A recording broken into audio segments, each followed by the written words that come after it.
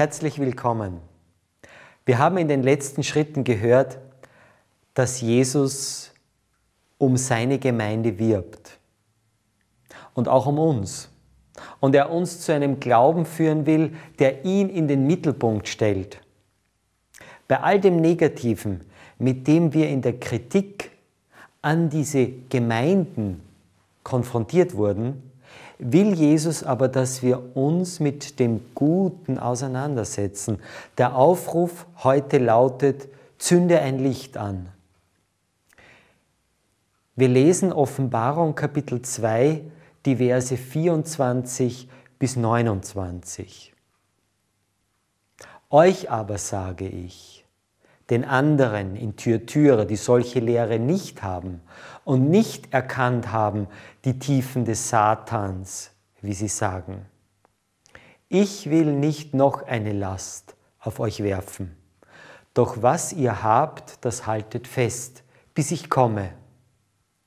Und wer überwindet und hält meine Werke bis ans Ende, dem will ich Macht geben über die Heiden und er soll sie weiden mit eisernem Stabe und wie die Gefäße eines Töpfers soll er sie zerschmeißen, wie auch ich Macht empfangen habe von meinem Vater, und ich will ihm geben den Morgenstern. Wer Ohren hat, der höre, was der Geist den Gemeinden sagt. In dieser Gemeinde gibt es treue Christen. Aber es gibt auch Christen, die sich ständig mit dem Negativen, mit den Tiefen des Satans beschäftigen. Das sind scheinbar auch gleichzeitig jene, die die Irrlehren Isabels verbreiten. Den Teufel an die Wand zu malen und sich ständig mit dem Bösen auseinanderzusetzen, ist ein falscher Schwerpunkt. Denn dabei besteht die Gefahr, den Blick auf das Wesen Gottes zu verlieren. Manche sind Meister im Suchen und Finden von Fehlern und Missständen. Sie reden immer über das, was nicht in Ordnung ist und sind dadurch sehr negativ gepolt. Die Gedanken, um das Böse kreisen zu lassen, kann erst recht in den Irrtum führen. Wir sollen nicht das Negative verehren, sondern Gott.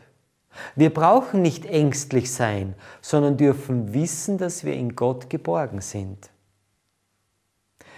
Wer unsicher durch das Leben geht, ist anfällig für abergläubische Ideen.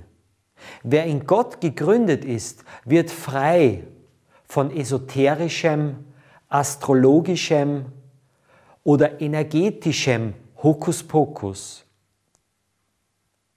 Wir sollen uns nach Paulus mit der Tiefe der Liebe Gottes auseinandersetzen. Er sagt weiter, wir sollen auf Jesus sehen.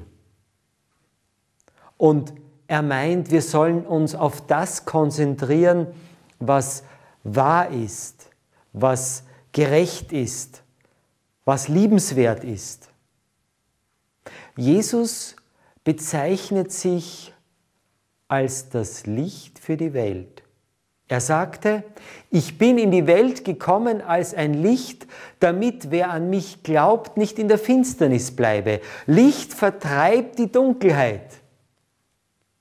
Deshalb ist es im Alltag immer besser, ein Licht in irgendeiner Form anzuzünden als über die Dunkelheit zu jammern oder kritisch und sarkastisch zu werden.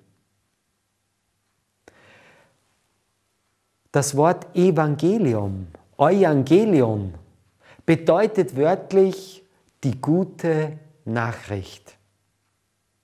Dieses Evangelium soll unsere Gedankenwelt erhellen. Die Christen von Thyatira werden angesichts von Ungerechtigkeit mit dem Gericht Gottes getröstet, damit sie erkennen, dass Gott letztlich alles gut machen wird. Sie sollen optimistisch bleiben, weil sie erkennen, dass die Werke Jesu sie errettet haben. Sie werden ja aufgefordert, die Werke Jesu festzuhalten. Er ist für uns gekommen, gestorben, auferstanden, er ist unser Fürsprecher und er wird wiederkommen. Ich denke, das ist wichtig, dass wir diesen Blick auf das richten, was Jesus Christus für uns getan hat. Und darum wollen wir auch jetzt wieder zu ihm sprechen. Herr Jesus, danke für dein Licht. Danke für all das Positive, das durch dich in mein Denken kommt. Ich will auf dich sehen und erkennen, was du für mich getan hast und tun wirst. Danke für deine Erlösung. Amen. Ja, Jesus findet bei jeder Gemeinde auch etwas Positives. Wenn er etwas anspricht, dann nicht darum, dass wir uns im Negativen verlieren, sondern uns davon trennen und ihm treu sind. Das nächste Mal spricht Jesus über Menschen, die geistlich tot sind. Was meint er damit? Ich freue mich, wenn wir uns das nächste Mal über dieses wichtige Thema Gedanken machen. Auf Wiedersehen.